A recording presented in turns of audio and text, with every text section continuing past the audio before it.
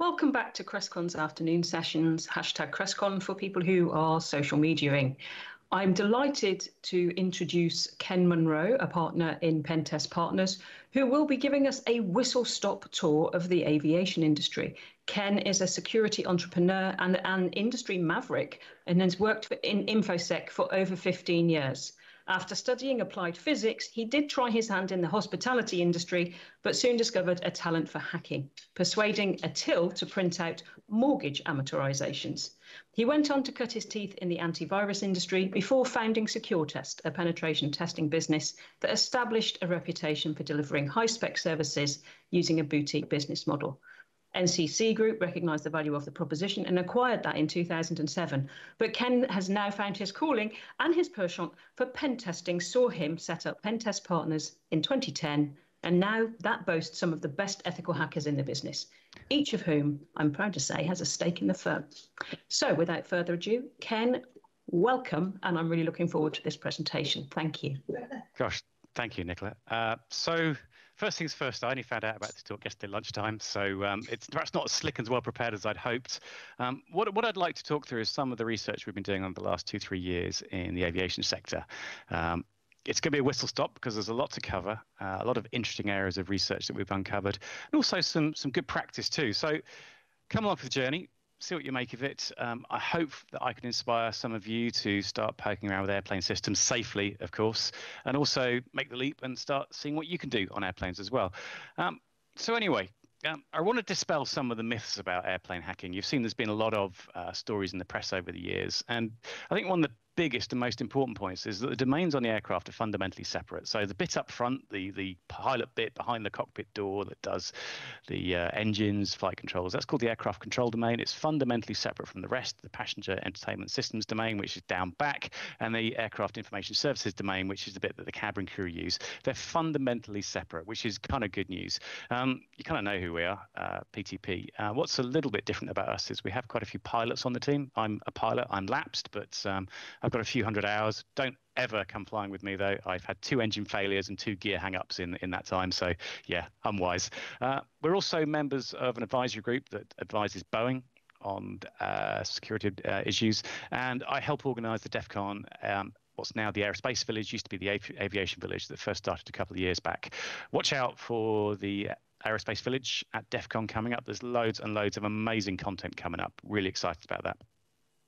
Over the last few years, we've got access to things like Airbus A320s, Boeing 747s. We've had the ability to work on electronic flight bags, in-flight entertainment systems, avionics, satellite communications, and more. And we've also presented some of that as research at various cons um, on collision avoidance systems, on instrument landing systems, and EFB security, which we're we're working through at the moment. Um, the guy on the right, that's my colleague Alex, who's also a qualified pilot. Um, in the left-hand seat is another one of my colleagues who didn't want to be photographed for this one. Um, that's uh, actually Alex taking a PA-28 into on short flight finals into Le Touquet, which is just on the northwest coast of France near Calais. Uh, I would say, and I think an overarching and important point I want to make is that you need to res- disclose responsibly. Disclosure in aviation, to my mind, is a bit different. Um, and there are lots of reasons for that. First of all, aircraft are in certified environments, which means that fixes have to be certified, which means it takes a long time to get issues um, diagnosed, fixed, confirmed as fixed, and then more com- in a more complex manner pushed out to operators too. It takes a long time. Uh, I personally don't want to destabilize the aviation industry through bad press. They've had a pretty torrid time over the last 18 months through the coronavirus. So do expect long remediation times. Don't expect everything to be fixed on 90 days. Um, personally, we don't go dropping vulnerabilities after 90. We wait for full remediation by the vendor there have been some challenges around disclosure, and I think fundamentally through a lack of understanding between researchers and the industry. Um, you probably all remember Ruben Santamarta and the really cool bit of work he did on the 787 Dreamliner um, code. Um, fascinating, but I don't think Boeing were in a position at the time to really figure out how to deal with independent researchers. A lot of misunderstandings happened there and some fallings out. Um, in fairness, Boeing have completely changed their approach to vulnerability research. Um, they are now one of the most embracing organizations I think I've ever come across. They have completely done a 180 and are really, really good about receiving vulnerability reports and getting them fixed too. So, what's changed? Well, I guess one of the silver linings, if you can call it that, of the coronavirus is that we've seen a lot of older airframes, more inefficient types, are being retired. Uh, they're being laid up at a rate of knots, uh, which means that the breakers yards can't keep up. There's also a lot of parked out planes, not sure about their future, but a good example of this was a large number of the 747 fleet across the world have been parked up and retired. They've been around for long enough that they completely paid off their purchase cost, uh, but unfortunately, in the face of modern twin engine long range planes, they're just not efficient. They're not economical in terms of uh, cost of operation per seat. So they've been laid up, and there are lots of them knocking around, and quite a few of them in the UK too. Uh, that has given rise to the potential for independent research for just about the first time. Yes, in the past we did get access to retired planes, but it was sporadic and difficult because the planes would come in, they'd land, and the brokers' yards would want them in pieces, either so the parts could be resold or they could be turned into tin cans. Because the breakers' yards are backed up, there's now planes lying around that will never be flown again that are still functional, as in they power up and the systems work, but they're never going to fly again. Um, I'd also say one of the weird silver linings, as you're probably seeing recent press reports, is a lot of pilots have been um, put on uh, furlough, for example, or, or, laid off for a period of time. And actually, we've we've since hired a pilot, uh, a current 747 pilot, and it's made for a really interesting pen tester. Uh, that methodical approach, that um, thinking about solving problems, has actually made for a really interesting skill set that's useful to us. But most of all, it's given us a much better understanding of what goes on up front. Now, yes, you know, we know the systems, we know how they work, but we don't day to day know how commercial pilots use them. And that's been fascinating, particularly when dealing with vulnerability disclosure with some recalcitrant um, manufacturers who really didn't want to hear us. But actually, when it was articulated in um, the terms of a pilot and their use, they started to listen and they started to take action, which was great. I would say pen testing avionics can be dangerous. Uh, the voltages, I'll talk about those in a moment, are high. Um, getting access to kit is difficult. Sometimes you get lucky on eBay. So I've got a few LRUs, so line replaceable units, and an old cockpit display unit from a 757 there. But these popped up on eBay. They are difficult to get hold of. Um, these are no longer certified, so they're cheap. Getting hold of operational components is incredibly expensive because certified components are still used today, so they have a value. Uh, the protocols are interesting, so you'll stumble onto things like uh, ARINC 429, which is one of the most common, which is a point-to-point protocol. It's not, not really a network as such. Um, so to decode it, you could use uh, a picoscope. Believe it or not, you can actually get the kit readout there. But you're starting to see tools emerge. So this is a, US, uh, a USB to ARINC 429 um, probe, which will record ARINC 429 data, which is the, the flight control data. Getting access to it isn't that easy. Decoding it isn't that easy. Injecting it is incredibly difficult. Uh, you've potentially got three synchronous um, injections to carry out on multiple parts of the airframe to get the flight controls to do anything. So, practically, taking control of the plane is is on on the verge of being very very difficult indeed. Um, also, some of the other protocols you might encounter on the Boeing 777, uh, there was an inductively coupled uh, network that uses a protocol called ARINC 629. The decoders for that are incredibly rare, very expensive. So that one um, we actually managed to borrow. It was $30,000 list to decode the protocol. We've got the inductive couplers. Uh, next step is get hold of a 777 in order to play and see what we can find. Um, later protocols you'll see on the Airbus A350, 380, and Dreamliner, you'll find AFDX, which is much more uh, aligned with what we're used to on Ethernet networks. And in some cases, you can see near off the shelf switches being used. Um, so it's much easier to interface with those. But again, they also come with layers of security that you'd expect on an Ethernet based network. Don't die when playing with airframes. The voltages, you're going to find 115 volts AC and probably 400 hertz down in the avionics bay. Uh, you might find 28 volts DC. Um, and one of the entertaining things is if you want to get a, a, vacuum cleaner, the ones you use on an aircraft, you don't use an off the shelf vacuum cleaner. You actually have to go and buy a Henry uh, vacuum cleaner that's specific to the purpose and very expensive. Uh, if you start taking apart avionics, particularly the primary or multifunctional flight displays, uh, there are going to be some meaty power capacitors inside some of the older CRT based tubes. So be really careful. Uh, you might find a, a, serious belt off a power cap if you're not being careful with that.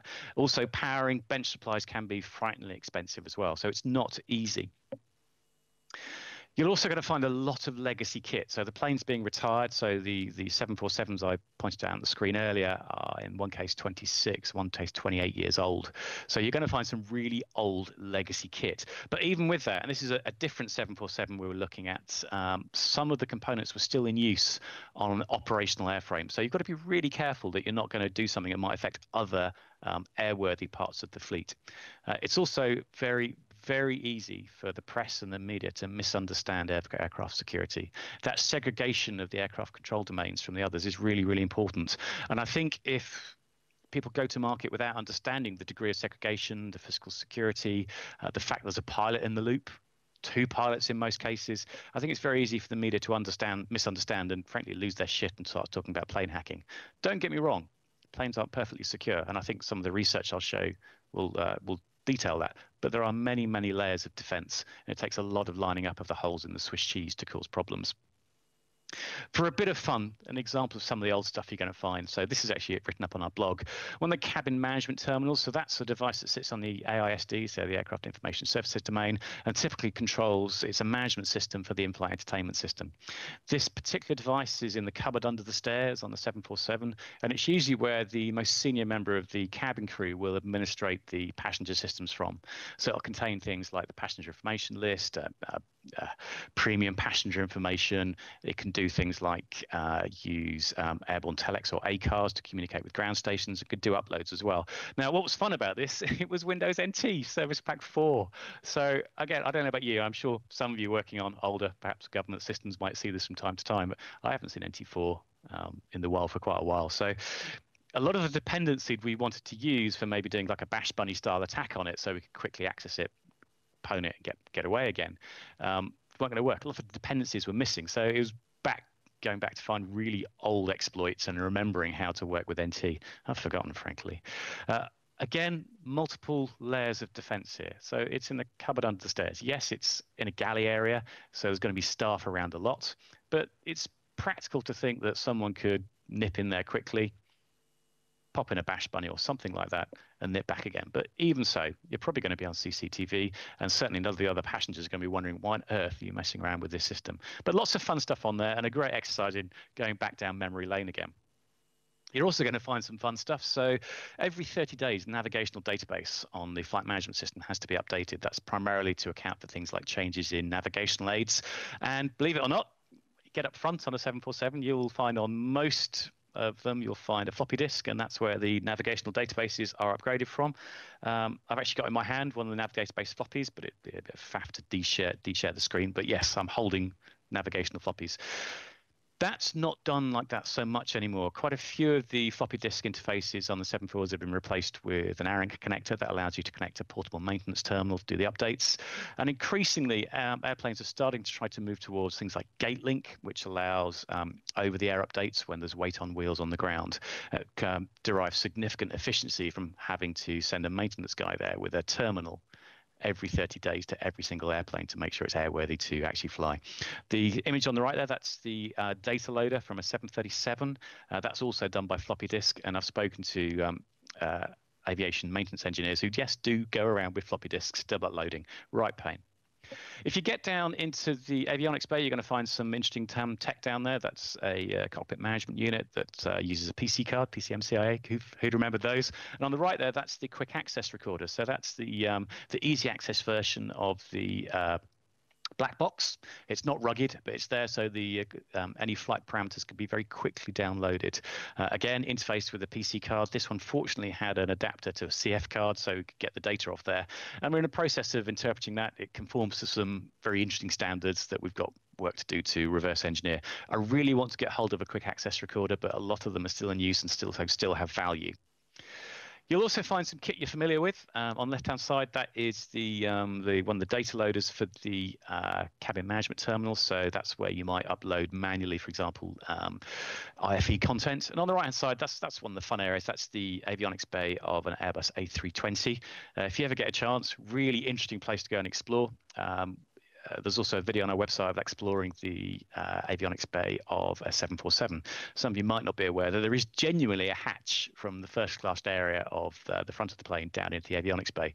It's sat by seat 4A, so that bit. I think it was an executive decision with Steven Seagal where he attaches a stealth fighter to the bottom of the plane. Actually, you can, in, in this case, get access to the rest of the airplane from the avionics bay hatches. Uh, I think that's also the case in the 350 as well.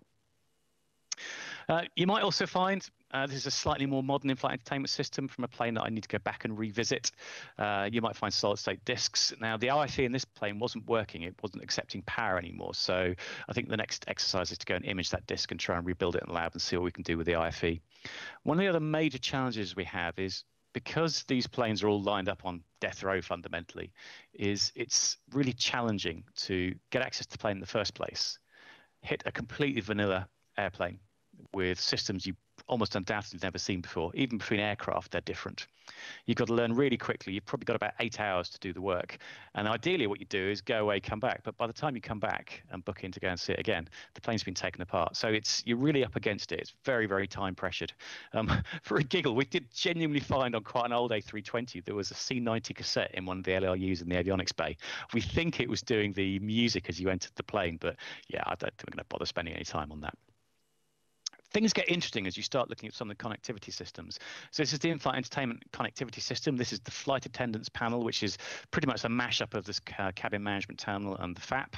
Uh, it's in an area again under the stairs, but a bit more accessible. And we found a number of interfaces on there. We found exposed RJ45, which we could hit, uh, hook up an interface with. Also USB, which didn't have the data lines chopped, which was interesting. Um, I think we have to be practical about what you're going to achieve by compromising an IFE. Certainly, an older one anyway. Is realistically, what's the worst you could do? Well, you could knock it out, so you can't screen content, so people get annoyed, um, or you could put something destabilizing for the cabin crew. I don't know, maybe scare everyone silly. The plane's been hijacked, but is that really going to affect the, the safety of the flight? I'm not so sure. But in these cases, we have reported to the vendors and they've already locked down access to these, which is great. So that's good to see.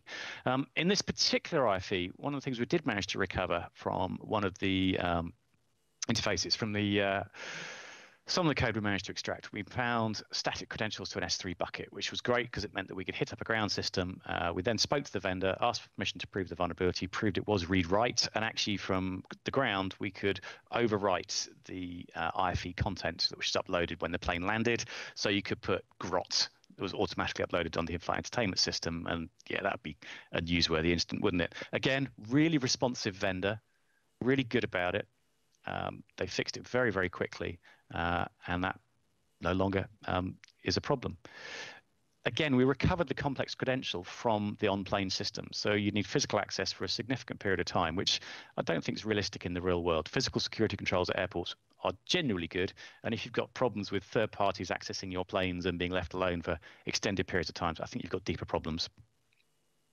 We also managed, in this particular case, to um, force the IFE into a maintenance mode, which meant you could um, effectively make it useless for passengers. But again, really not a huge issue. We did discover that from the avionics bay, we, there was another interface, another IRU we could uh, connect to that allowed us to up, upload arbitrary content. But that would have meant us accessing the plane through the external um, avionics bay hatch through a ladder plugging into it, uploading content, and then getting out again. It kind of reminded me of that bit in Scorpion, the TV show about plane hacking, where the uh, Ferrari was driving along the runway. Kind of impractical. I don't think it's a real world attack, do you? But it was funny for the TV anyway. Things get more interesting as you start looking at the connectivity system. So this particular plane had an in-flight Wi-Fi router. Um, for cost efficiency, typically the um, da- the uplinks to get data are actually downlinks. Though they'll use 4G LTE downlinks um, facing down at ground stations rather than downloading expensive SATCOM data. But that's only available over land. So when you go over the oceans, then it'll use upward-facing SATCOMs. Now, what made me chuckle again, it's just like every other bloody pen test you ever do, is that the credentials for wireless router were written on a piece of paper on the door um, that which which the uh, Wi-Fi router sat behind, and that had no key on it. That was fun. That's been fixed. The only thing that was a little annoying was that it looked like the uh, the router had been deactivated, so the the data plan had been deactivated when the plane was retired. So it was a little limited. Um, really want to get our hands on that, but again. This is a certified product, extremely expensive to buy. That could easily be fifteen to twenty thousand pounds worth of kit, if not more. You're probably also familiar um, when we're sitting in economy, uh, every three seats or so, the little box that obstructs your legroom, that's the seat box. That's fundamentally a, uh, a power and switch that was used historically to um, take protocols like DOCSIS back in the day to stream media at uh, high enough bandwidth back when Ethernet really didn't do it. Uh, in a lot of cases, you'll find that the seat boxes themselves haven't been replaced, but simply um, the same protocols are just streamed through them. So when you pop them apart, you'll find some really, really old stuff inside. Um, and you do occasionally find these pop up on eBay.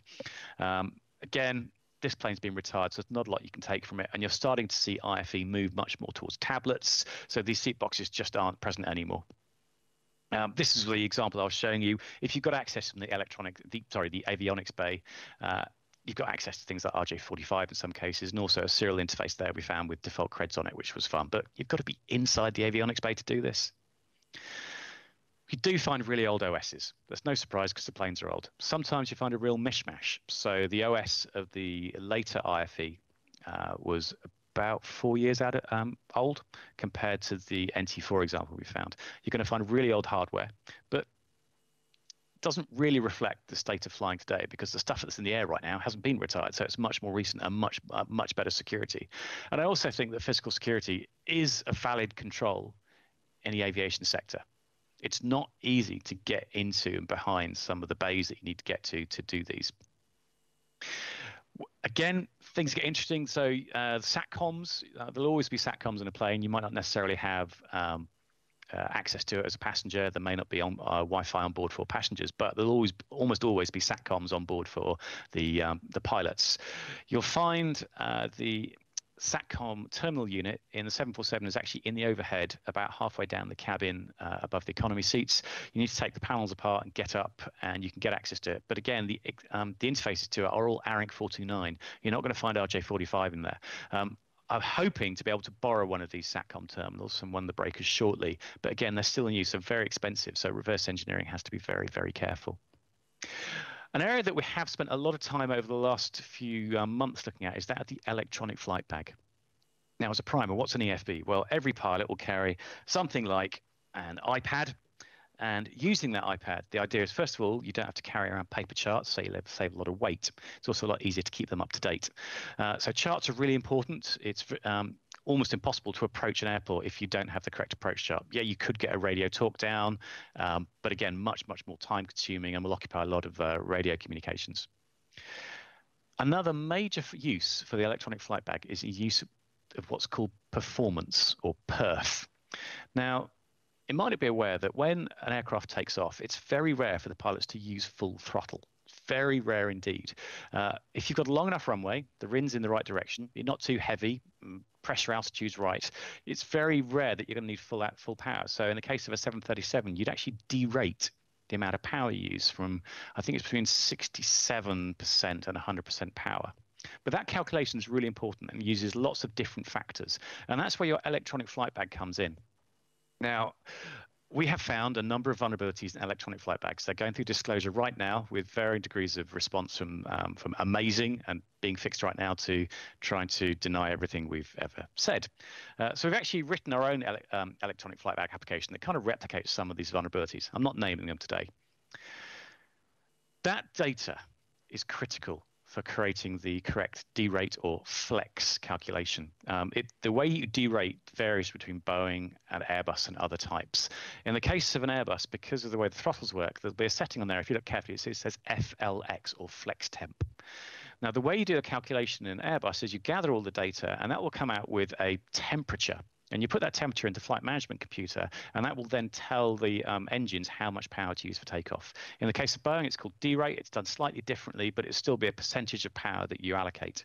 Now, that information that goes into the calculation will come from lots of different sources. So it might come from uh, it might come over VSAT, so from your satellite communications. In some cases, that come from um, uh, web APIs, so you can um, connect your electronic flight bag to mobile data and connect to it and do the calculation. We found challenges in the uh, in vulnerabilities in these mobile apps that mean that in theory you could tamper with the performance calculation and cause the incorrect information to be output to the pilot. Now, what that will do if you provide the wrong uh, flex temp in the case of an Airbus, that means that what goes wrong is your V speeds are wrong. Now, V speeds you probably know is V1 is the temp is the point um, after which if an engine packs up, you can't stop on the runway. and V2 is the speed at which uh, you can safely fly away. And the gap between V1 and V2 is quite a scary time because if something goes pop, you're going to go off the end of the runway. VR is the point at which you rotate, and the derate um, or flex temp calculations will then um, populate your V speeds, which tell you what um, speed you need to get to. There have been numerous cases over the years where pilots themselves have incorrectly put the wrong data into their electronic flight bag. So they've come up with the wrong derate calculation. They go off piling off down the runway and rotate, and the plane doesn't unstick. So in that case, you commonly get what's called a tail strike, where the tail hits the ground until the plane finally flies away. Or in a very small number of cases, very sadly, there have been runway excursions or overruns, and even a small number of cases, there have been a couple of hull losses and fatalities as well. This happens by mistake. Good pilots will instantly recognize the mistake and go full power, take off, go around power, and off you go, and everything's fine. You just rolled a bit further down the runway than you expect. However, opportunities to introduce issues concern me. That's why we found vulnerabilities. That's why we've reported them responsibly, responsibly, and they are going through remediation right now. There are two primary types of EFB. I've talked mostly about uh, tablet-based, so a portable electronic flight bag. There are also installed electronic flight bags, which you find in some types. Um, I've got a very tight crop of an EFB here that we found on the 747, and the calculations are done on this. This particular EFB was a Windows tablet. It was running Windows CE, if I recall correctly, and the lockdown on it was almost non-existent. It was a classic entertaining kiosk breakout that took about 10 seconds for one of my colleagues to do, and that gave us uh, full control over the EFB. So we could do anything at that point. We could modify databases behind it, modify calculations in the apps, and all sorts. Again, reported responsibility responsibly. It's being fixed right now. But there's more than just pure safety data. So the EFB will contain things like your electronic passenger information list. It'll contain your weight and balance, which you can't take off with without being done correctly because all sorts of problems. There's some really interesting uh, accident reports where weight and balance has been wrong. Uh, if you don't have, for example, your quick reference handbook, so when there's an incident uh, that needs to be dealt with quickly, like an engine out, for example, you quickly grab your QRH. They're now digital, electronic. They're on the EFB. There's all sorts of other things that we're working on at the moment, looking for security vulnerabilities to report and get fixed. So the EFB is a really, really interesting area. There are lots of challenges we've been finding with the EFBs over the last six months or so. There's definite gaps between one the manufacturers of the, the software and devices and the operators, so airlines, um, their understanding about security.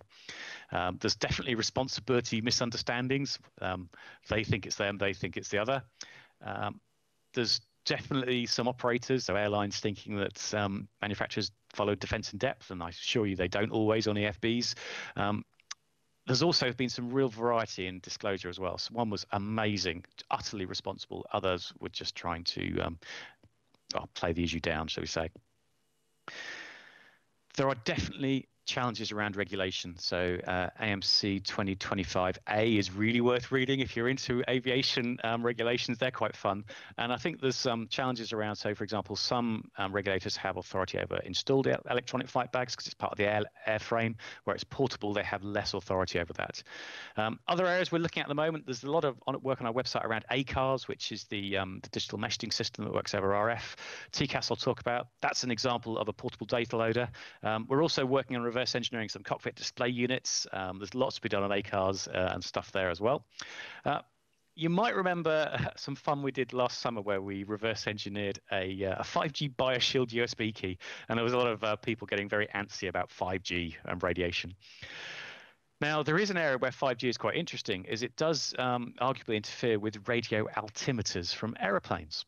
Uh, the frequencies um, are very close together, not as well spaced as they might be, and some of the older um, radio altimeters don't have such good um, ability to um, defend against 5G issues. So particularly your five, your radio altimeter is essential in a category three approach. That's when there's no visibility. So you need your radio altimeter to inform the autopilot at what point you're, you're, you're how high you are above the runway, which then it starts to flare. Uh, if you think about where 5G is going, think about Heathrow. M25 is on short finals. So there's areas that are being worked on at the moment to improve um, separation and the ability of radio altimeters to uh, stop um, issues being caused. There have already been a few reported problems. Again, only a problem really in Cat 3. Uh, where you have no visibility, so fog. Um, but this needs a lot more research, and I know that there's work going on from the FAA right now. There's some good research from Northeastern University, uh, looked at instrument landing system spoofing. So again, if you're approaching in fog, you'll see bottom right, that's our simulator. We, we actually have an Airbus A3, A320 simulator, so it means we can recreate a lot of um, these issues. We also have a rated 320 pilot as well, so he can take us through how exactly how um, uh, these attacks work. You'll see from the instrument landing system crosshairs on the PFD on the left that we're aligned on the ILS. It's outside, it's Cat 3, it's foggy, so you don't see anything. But when you land, you'll see that actually we've broken out of cloud um, about a mile to the west of the runway. That's San Francisco, but you see the ILS crosshairs are still aligned. It's really worth reading this paper. Um, it talks about some of the practicalities of doing the spoofing. Talking to pilots, the real world is more likely that a spoofing attempt will actually simply pop up the nav flags on the instrument landing system so they know that it's unreliable data. So they'll probably go around and find somewhere else or hang around until the spoofing problem goes away. We've also looked at collision avoidance system spoofing. So to stop planes flying into each other, there's a, uh, a, a collision avoidance system between the two transponders on the airplanes. If they see two planes about to crash into each other, one will immediately go climb, climb, the other will go descend, descend, and uh, any smart pilot will very quickly follow that uh, what's called a resolution advisory. Um, it is possible to introduce uh, spoof signals to cause fake resolution advisories. And we've done some work with the group at AVSEC Oxford, and again, another really interesting group that's worth talking to. Uh, they did some effect on the human aspects of this and show that in the event of a, a, rogue resolution advisory, the most common response would be actually for the pilot to turn the TCAS system off. So effectively, you cried wolf, which isn't great, um, but really worth reading up on. Um, as I wrap up, there's also some interesting stuff to be done in the area of GPS spoofing. Now, we all know various nations GPS spoof around certain areas, particularly around military bases. As we move to more and more reliance on GPS, we're starting to see ground-based navigational aids retired. So, you know, when I first learned to fly, I was using ADFs, uh, NDBs, uh, VORs, and other instrument landing systems. They're expensive to maintain. And increasingly, we're seeing GPS based approaches published. So, why would you therefore carry on with your great expensive ground based nav aid when you've got a perfectly good serviceable GPS? Talking to um, various researchers in the space, um, when you're out over the oceanic tracks, you typically have inertial reference systems uh, as a backup. Now, drift in IRS is possible, and talking to experts on the subject, uh, a drift of about four, four meters per second is possible on GPS without setting off inertial reference systems alerts. The problem is, is practically how are you're going to G, uh, GPS spoof a plane at altitude. It takes a signal from above, so you've either got to be flying above it, which is a bit impractical. The most likely um, challenge is going to be from that GPS spoof being on board. Um, there are a number of airfields, particularly around um, hilly areas or mountainous areas in the USA, where it wouldn't take too much to cause issues with a GPS approach in Cat 3 conditions. Um, particularly where there's no nearby ground nav aids. But there's a huge amount more research done to look at the practicality of this and whether it is a threat or whether it's actually just a, a bit of a challenge that needs um, worked around with operating procedures. Um, a bit of advice we all know you don't make assumptions about security. Device manufacturers, I think it's fair to say, from our experience, have got a very different view of security compared to other organizations. There's a lot of legacy in aviation. If you think you've seen old systems in government, come and get on a plane with me. And uh, we've been working really hard to get the industry to open up and work with and engage with researchers. So through groupings like the Aviation ISAC, through the DEFCON Aerospace Village, and others. Also working with people like the FAA and CAA and EASA. Um, I would say um, there's a lot of further reading today. We've blogged about this. There's a lot of other sources of really good data too. So if aviation security is your thing, please go and spend some time reading up about it. There's so much untapped, so much that hasn't been looked into yet. We've been banging this drum for three years and we're not even close to understanding it. What I would say is we have now got consistent access to a 747. And I'm hoping later on in the year, coronavirus dependent, to be able to open it up so that we can hold some uh, learning events and training events out there on that plane a little bit later in the year. So if that's something of interest to you, do drop us a line. It'll be open to the community. Um, I'm hoping you'll be able to do it for free, but a really interesting hands-on, first of all, explore a plane, see how they work, talk to pilots, understand what they do and how they operate them. But more importantly, let's look at the systems better and understand what security vulnerabilities might be there. Thank you. Thank you so much, Ken. And uh, despite your invite to come with you on a plane, I, I don't think I will, as you've killed two engines, which you, you mentioned earlier. Um, we have got some questions. So, one of the questions is what level of pen testing do the aircraft manufacturers, in, in your experience, and component suppliers employ? Okay, uh, that's a really good question. So I know that many of the manufacturers do have some in-house teams, and actually I've seen some of the the test beds in Boeing. I got a tour. Well, one of my colleagues got a tour of the Everett factory, and I'm incredibly impressed with some of the test beds they've got because they can actually power up all the components. They do do quite a bit of pen testing themselves. I personally don't think they're enough. I suppose I would say that we would say that. Um, but what we're seeing more is it tends to be in the supply chains where I think there are more problems. The manufacturers themselves are pretty responsible, they get it. I think it's the component manufacturers. I think it's some of the service providers where some of the more of the problems lie, and that's where we're, we're doing a lot of work now. Hence, why we're looking at electronic flight bags. And um, on on that note, um, do you think there is enough regulation currently, or that that should be increased? Uh, as well, a really interesting point you raised there actually because um, a good example is the FAA doesn't really have purview over um, portable electronic flight bags. And I talk to pilots who give their flight bags to their kids to watch Netflix on. So all those lockdowns that you know we follow in in corporate world, um, simply you find in many cases they're just not followed to the same degree. And i don't think it's understood that the EFB is a safety critical device. So there's a lot of learning there and i think a lot of leadership from the various regulators but also that they need to start to regulate in areas that perhaps they didn't have um, oversight of previously. And I, I, love that your answers are almost segues into the next question that we've been asked because uh, um, so obviously you, you talked about responsible disclosure earlier and you've just mentioned a few things that you you've just discovered in talking to people.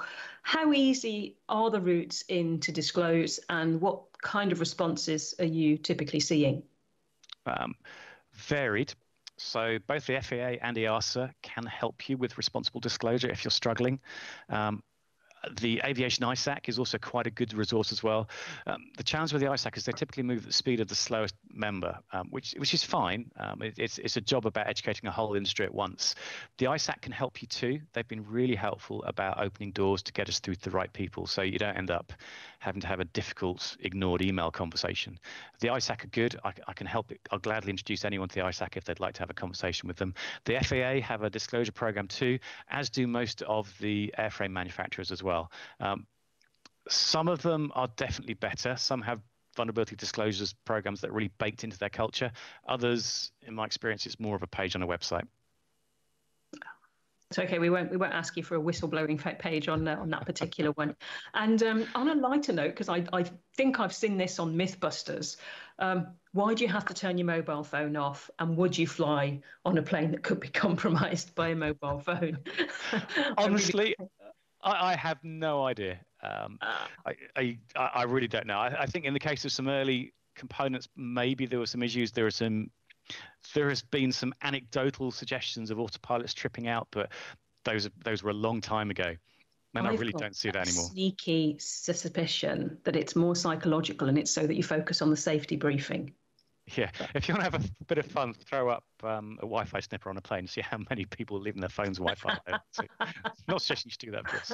and on that note, on that bombshell, as they would say, I uh, I think uh, we we've run this to the end. Thank you so much, Ken. I've I've really enjoyed that again, and seeing your spooky twins which uh, I have many fond memories of uh, at various events. Um, so thank you again for, for stepping in and, and doing this talk. Really, really appreciate it as always. Thanks all. Um, so we will be going to lunch, everybody. So feel free again to do social media on CrestCon. Um, for all of our uh, people speaking, you can uh, close the, the main screen slightly so you can see the questions on the side. And we'll be going to lunch and coming back at, let me just check for you, um, 1.30. So at 1.30, next presentation is Keith Driver of this um, company called Titania, which I hear is a mover and a shaker in the industry. So hopefully you'll catch him soon. Thank you very much. I've been Nicola Whiting of Titania and hope to speak and see you later. Bye.